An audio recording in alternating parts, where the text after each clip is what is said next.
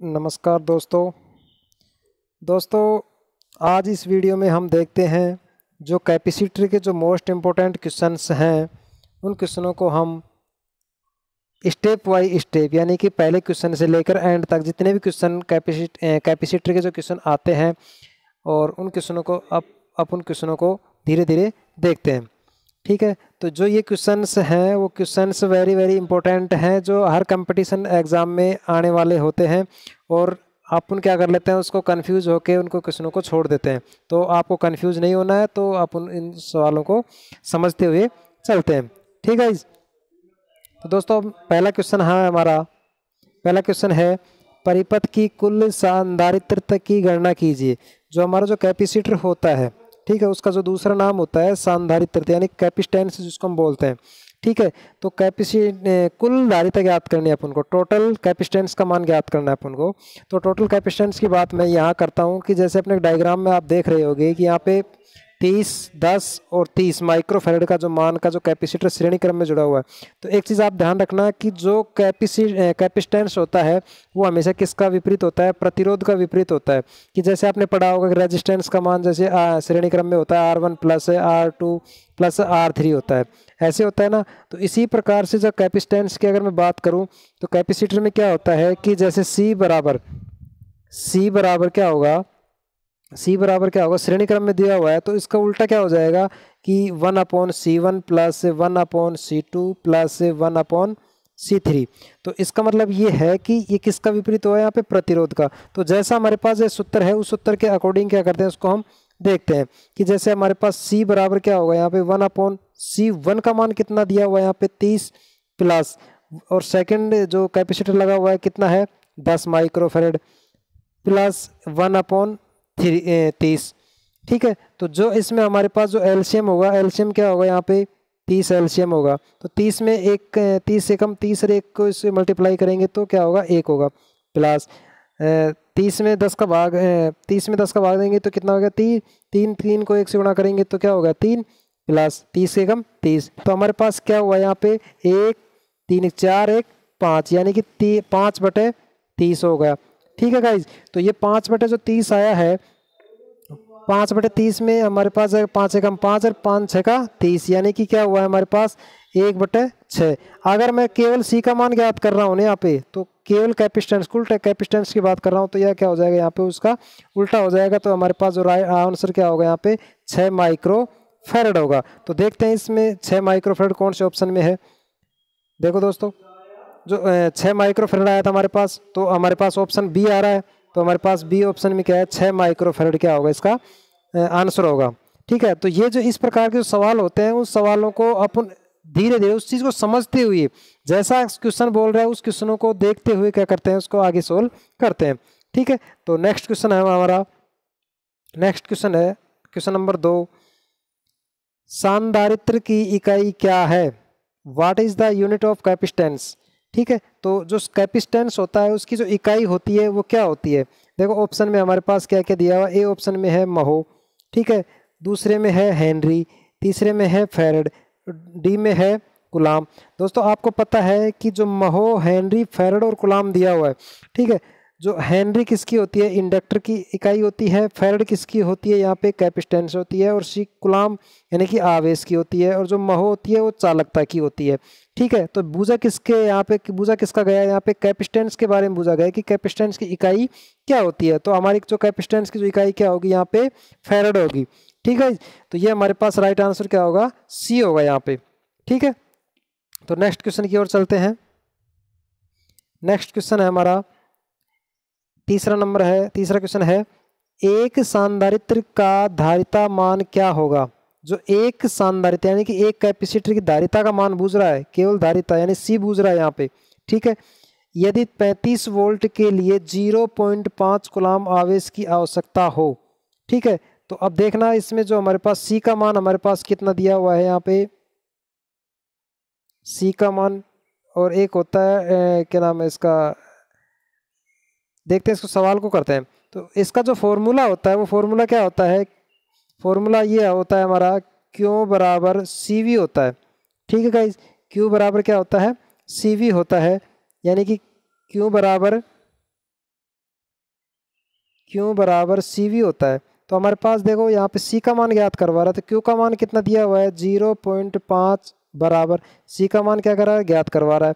We का मान कितना दिया हुआ है यहाँ पे? पैंतीस वोल्ट दिया हुआ है। ठीक है तो सी बराबर क्या होगा यहाँ पे? क्यू अपॉन वी होगा। तो क्यू का मान हमारे पास कितना है? ज़ीरो पॉइंट पाँच बटे पैंतीस।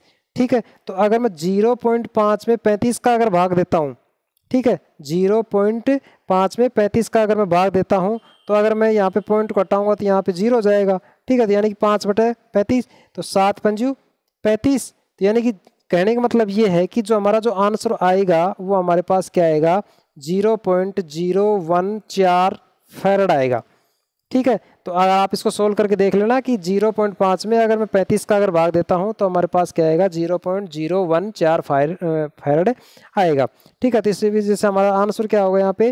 राइट आंसर ए ऑप्शन सही होगा। ठीक है गाइज़ चलते नेक्स्ट क्वेश्चन की ओर। नेक्स्ट क्वेश्चन है हमारा चार नंबर। तो चार नंबर क्वेश्चन है, सांधारित्र सांधारित्रता के मान को कैसे कम किया जा सकता है? जो कैपिस्टेंस होता है, उस कैपिस्टेंस के मान को कम करें, करते हैं तो कैसे कम करेंगे अपन? ठीक है तो उस कम करने का क्या होगा यहाँ पे कि हमारे पास जो ऑप्शन है देखते हैं कि प्लेट क्षेत्रफल को बढ़ाकर, यानी कि जो प्लेट होती हैं, जो बैटरी की जो प्लेटें होती हैं, उन प्लेटों को अगर मैं बढ़ाता हूँ तो कैपिस्टेंस का मान घटता है बढ़ता है, देखते हैं आगे क्या ऑप्शन में और क्या आता है। नेक्स्ट क्वेश्चन है नेक्स्ट ऑप्शन है हमारे पास प्लेटों के प्रतिरोध को बढ़ाकर, यानी कि अगर मैं प्लेटों के रेजिस्टेंस के मान को अगर बढ़ाता हूँ तो उनके कैपेसिटेंस का मान कम होता है या ज़्यादा होता है। तो देखते हैं आगे ऑप्शन क्या आता है।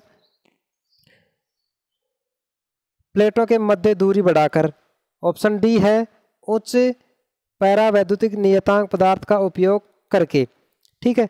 तो हमारा जो राइट आंसर होगा कि इसमें क्वेश्चन ये कहा गया है कि कैपिस्टेंस के मान को कैसे कम किया जा सकता है कि हमारे पास एक ही तरीका है कि कैपिस्टेंस के मान को कम करने का तो हमारे पास क्या होगा? यहाँ पे राइट आंसर होगा, प्लेटों के मध्य दूरी को बढ़ाकर क्या कर सकते हैं? कैपिस्टेंस के मान को कम किया जा सकता है।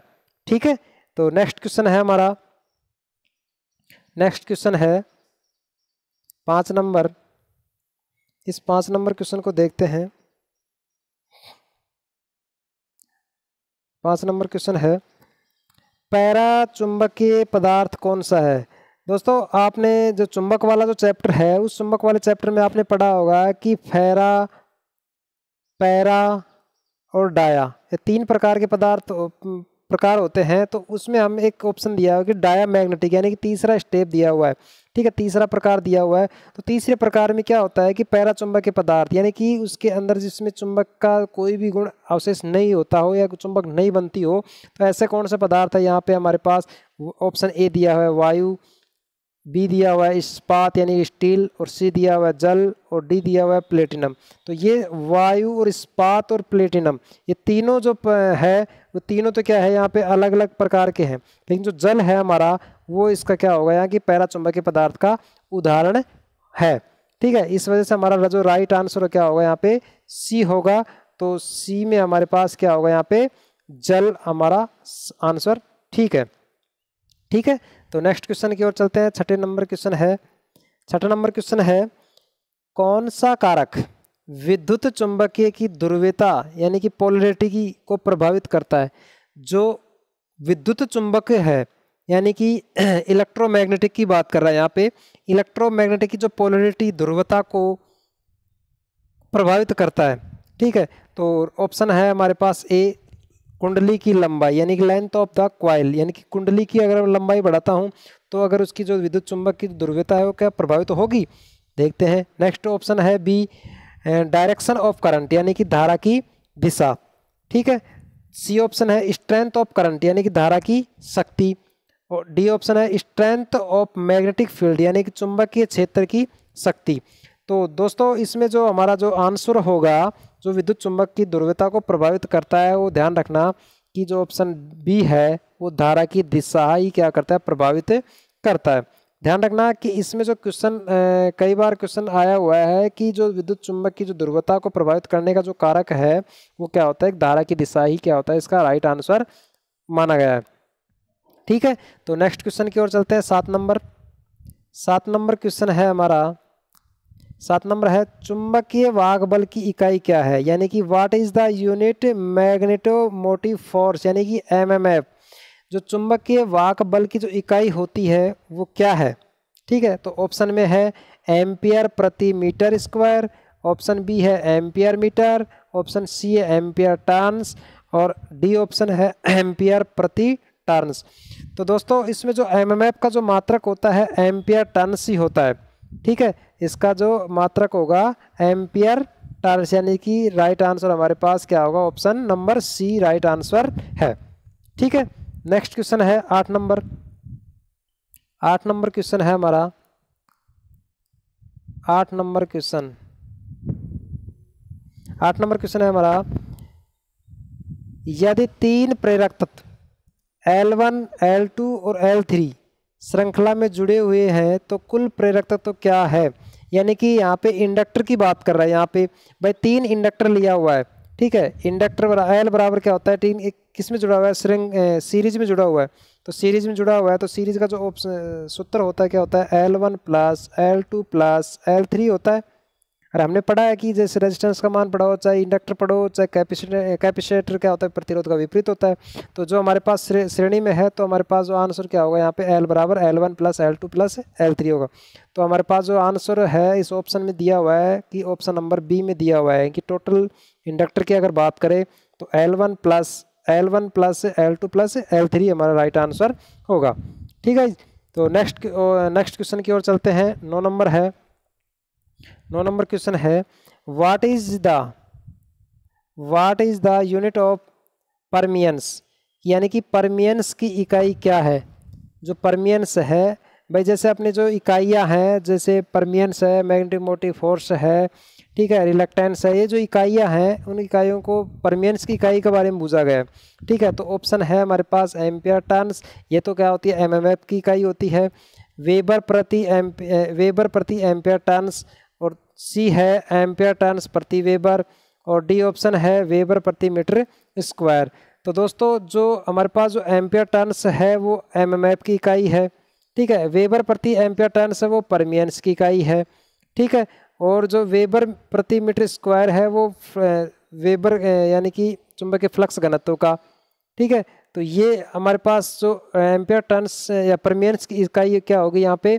क्या होगा यहाँ पे? Option number B right answer होगा। यानी कि वेबर प्रति एम्पियर टर्न्स क्या होगा? इनका परमियंस की इकाई होगी। ठीक है तो नेक्स्ट क्वेश्चन है हमारे पास। दस नंबर है कि दस नंबर क्वेश्चन है कि परे परिनलिका, यानी कि इसमें थोड़ा शॉर्ट दिया हुआ है। अगले पेज में देखते हैं इसको। परिनलिका परिनलिका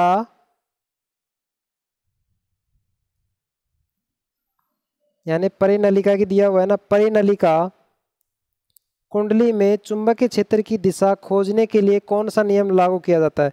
जो एक परिनलिका है, ठीक है? वो परिनलिका जैसे इस प्रकार से बनी हुई है, ठीक है? तो उसमें क्या होगा कि जैसे हमारे पास चुंबकीय क्षेत्र की दिशा खोजने के लिए कौन सा नियम लागू होता है? जैसे हमारे पास राइट हैंड प्लम रूल का प्रयोग करते हैं कि जैसे हमारे पास ये, हमारे पास क्या होगा? एक अंगूठा होगा और ये हमारी क्या होगी? अंगुलियाँ होगी।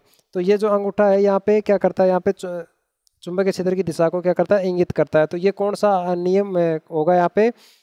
राइट हैंड रूल, यानी कि दाएँ हाथ की हथेली का नियम क्या होगा? चुंबकीय क्षेत्र की दिशा को बताता है। यानी कि जो परिनलिका होती है, वो हमारे पास परिनलिका की जो चुंबकीय क्षेत्र की दिशा को बताने का कौन सा नियम होता है? दाहिने हाथ की हथेली का जो नियम होता है, वो हमारे पास क्या होगा यहाँ पे? राइट आंसर होगा।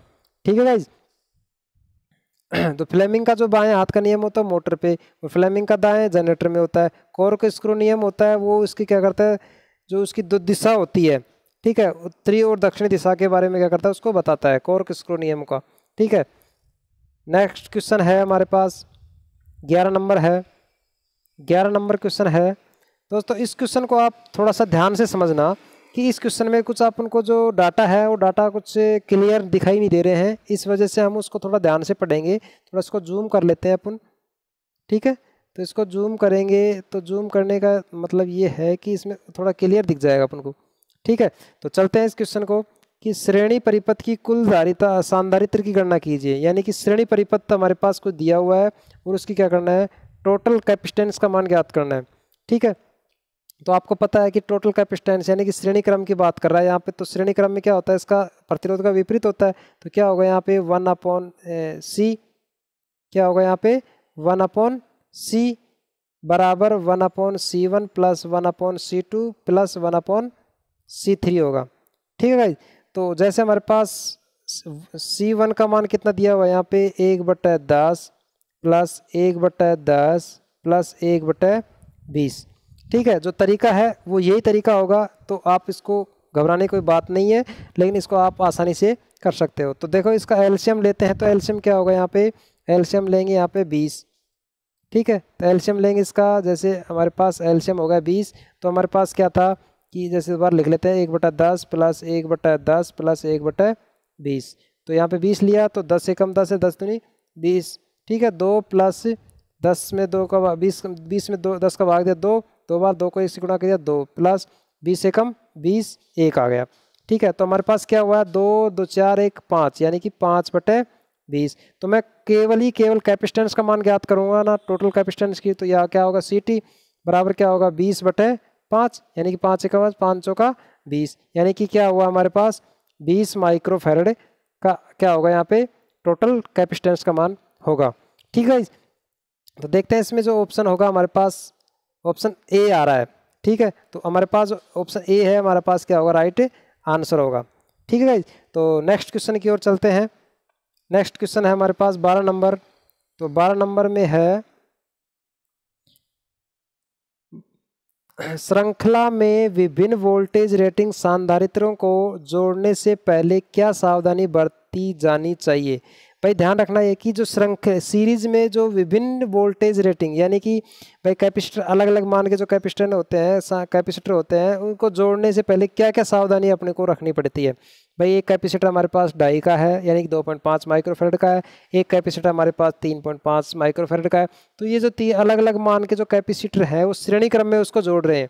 तो उसको एक जो रूल्स होते हैं, उन रूल्स के अकॉर्डिंग क्या करना पड़ता है? उसको कार्य करना पड़ता है। तो ध्यान रखना है कि इसका जो ऑप्शन में दिया हुआ है, उन ऑप्शनों के ऊपर डिपेंड करता है कि ऑप्शन में क्या दिया हुआ है। ठीक है? तो ए ऑप्शन नंबर ए में दिया हुआ है, सभी कैपेसिटर एक ही निर्माता के होने चाहिए। गलत बात, यानी कि पहले चीज़ में दिया हुआ है कि विभिन्न मान के वोल्टेज की दिया हुआ है। ठीक है? तो नेक्स्ट बी ऑप्शन में दिया हुआ है तो ध्यान रखना कि ये ऑप्शन तो हमारे पास हो नहीं सकता। आंसर में हो नहीं सकता। अब देखते हैं नेक्स्ट ऑप्शन क्या है कि प्रत्येक कैपेसिटर वोल्टेज ड्रॉप इसकी वोल्टेज रेटिंग से कम होना चाहिए। ठीक है? प्रत्येक कैपेसिटर वोल्टेज ड्रॉप इसकी वोल्टेज रेटिंग से कम होना चाहिए। मानता है कि भाई इसका जो जवाब सही हो सकता है। और ऑप्शन देखते हैं सी तो सी में क्या है? कुल कैपेसिटर का मान सांधारित्र के निम्नतम मान से कम होना चाहिए। ठीक है? ये भी बात हम सहमत हैं। लेकिन आगे और देखते हैं, एक ऑप्शन दिया हुआ है। प्रत्येक सांधारित्र का ब्रेकडाउन वोल्टेज समान होना चाहिए, गलत बात है, ठीक है? और जो हमारे पास सी ऑप्शन था, कुल कैपेसिटर का मान सांधारित्र के निम्न मान से कम होना चाहिए, ये भी गलत है, ठीक है? तो जो हमारे पास ऑप्शन नंबर बी है ऑप्शन नंबर बी है, प्रत्येक कैपेसिटर वोल्टेज ड्रॉप इसकी वोल्टेज रेटिंग से कम होना चाहिए। जब वोल्टेज ड्रॉप की बात कर रहा है यहाँ पे तो विभिन्न मान के हैं तो यहाँ पे हमारा जो जवाब होगा, सही होगा, वो क्या होगा? यहाँ पे बी ही होगा, ठीक है? यानी कि हम कह सकते हैं कि जो विभिन्न मान का जो कैपेसिटर है, सीरीज़ सीरीज़ में जुड़ा हुआ है तो उसकी जो जोड़ने का जो सावधानी है, वो सावधानी यही है कि इसमें जो जवाब होगा हमारे पास, प्रत्येक कैपेसिटर वोल्टेज ड्रॉप इसकी वोल्टेज रेटिंग से कम होना चाहिए। तो हमारे पास राइट आंसर क्या होगा? बी ऑप्शन सही होगा। ठीक है तो नेक्स्ट क्वेश्चन की ओर चलते हैं। नेक्स्ट क्वेश्चन है हमारे पास तेरह नंबर। तेरह नंबर है। तेरह नंबर है। कौन सा पदार्थ अनुचुंबकीय पदार्थ है? भाई देखा हमें थोड़ी देर पहले जो पिछले क्वेश्चन में भी हमने देखा था कि उसमें भी ये चीज़ आया था कि पैरामैग्नेटिक आया था। तो यहाँ पे अनुचुंबकीय यानी कि पैरामैग्नेटिक, उसमें आया था अनुचुंब पैरा वाला, जो फैरा की बात कर रहा है, पैरा, डायामैग्नेटिक की बात कर रहा था वहाँ पे। तो यहाँ पे केवल पैरामैग्नेटिक की बात कर रहा है, जिसमें विद्युत चुंबक का गुण अवशेष नहीं पाया जाता हो। ठीक है, जिसमें चुंबक का गुण कम पाया जाता सॉरी इकाई से थोड़ा कम हो तो वो हमारे पास क्या होगा? इसका जवाब आंसर सही होगा। ठीक है, देखते हैं ऑप्शन में क्या दिया हुआ है। ऑप्शन ए नंबर है क्लिट वायरिंग ऑप्शन बी तांबा सी है बिस्मित डी है ग्रेफाइट तो दोस्तों, इसमें जो अनुचुंबकीय पदार्थ, यानी कि फेरा होता है लोहा चुंबकीय पदार्थ होता है, उसमें तो चुंबक के गुण इकाई से अधिक होता है। ठीक है, और जो पैरामैग्नेटिक होता है, उसमें इकाई से थोड़ा कम होता है। होता तो है, लेकिन कम होता है, इकाई से थोड़ा कम होता है। और जो डायामैग्नेटिक होता है, उस डायामैग्नेटिक में तो बिल्कुल ही सुनने के बराबर होता है। ठीक है, उसमें चुंबकीय गुण पाए नहीं जाते हैं। तो ये बीच वाला जो स्टेप है, उसमें पाए जाते हैं, लेकिन इकाई से कम होता है। तो हमारे पास जो जवाब होगा, वो क्या होगा? यहाँ पे कॉपर होगा, यानी कि तांबा होगा। ठीक है? तो जो अनुचुंबकीय पदार्थ का जो अगर एग्ज़ाम्पल है, तांबा हुआ एल्यूमिनियम हुआ, ये क्या है? अनुचुंबकीय पदार्थ यानी कि पैरामैग्नेटिक के ही उदाहरण है। ठीक है तो हमारे पास राइट आंसर क्या होगा? बी होगा। ठीक है? नेक्स्ट क्वेश्चन की ओर चलते हैं। चौदह नंबर चौदह नंबर क्वेश्चन है। बी एच वक्र में एक्स द्वारा अंकित भाग का नाम बताइए। जो इस ग्राफ के अंदर, जो बी एच लूप यानी कि स्टेरिसिस जो जो लॉसेस होते हैं, वो इस प्रकार से इसको समझाया गया है।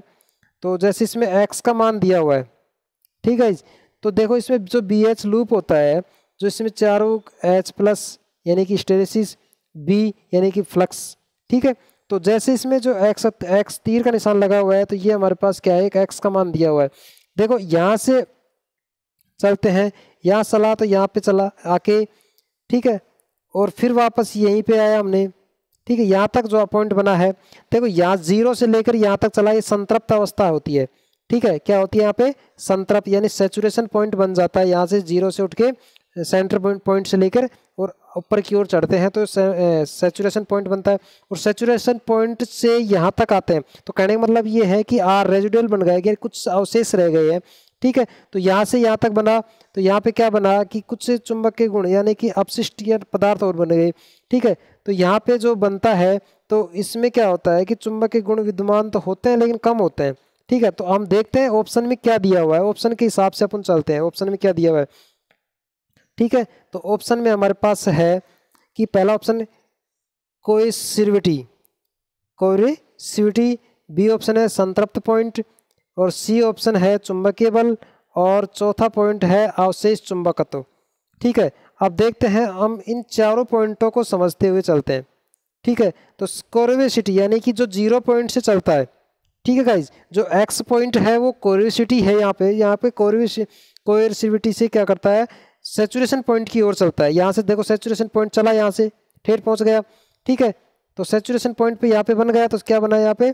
सेचुरेशन पॉइंट यानी कि दूसरा पॉइंट संतृप्त पॉइंट बिंदु बन गया। ठीक है? अब संतृप्त बिंदु से यहाँ पे पहुँचता है, जैसे फ्लक्स के बीच में जो पॉइंट पूरी जो चुंबकीय रेखा नहीं पहुँच पाई है तो यहाँ पे जो रेजुडेल्स की बात करें, ठीक है? यहाँ पे अवशेष चुंबक तो बन जाते हैं, ठीक है? क्या बन जाते हैं यहाँ पे? अवशेष चुंबकत्व यानी कि रेजिडेल्स मैग्नेटिक बन जाता है और रेजिडेल्स के बाद में जो यहाँ पे पॉइंट पहुँचता है तो यहाँ से पॉइंट पहुँचने के बाद में चुंबकीय बल रेखाएँ बन जाती है। ठीक है? तो जैसे ही चुंबकीय बल रेखाएँ बनती है तो वापस ये विपरीत दिशा में क्या करता है? संतृप्त पॉइंट की तरफ़ चला जाता है। तो जो एक्स बिंदु जो दर्शा रहा है, ये हमारे पास क्या है? कोरिसिटी है। यानी कि ऑप्शन क्या है? बी हमारे पास क्या है? ए ऑप्शन राइट होगा कि जो इस चीज़, इसके अंदर जो दर्शाया गया एक्स पॉइंट को दर्शाया गया है। ठीक है, मैंने चारों ऑप्शनों को आप खोल के मैंने आपको डिटेल से समझा दिया है। ठीक है तो नेक्स्ट क्वेश्चन की ओर चलते हैं। पंद्रह नंबर क्वेश्चन है, विद्युत परिपथ में चालकता के लिए चुंबकीय सर्किट में समान शब्द क्या है? भाई, जैसे हमने जो इलेक्ट्रिसिटी की अगर मैं बात करूँ, एक मैग्नेटिक मैग्नेटिक के अंदर बात करें तो यहाँ पे अगर विद्युत परिपथ के अंदर अगर चालकता होती है, भाई चालकता क्या करती है कि विद्युत धारा को सुगमता प्रदान करती है? यही तो होता है चालकता।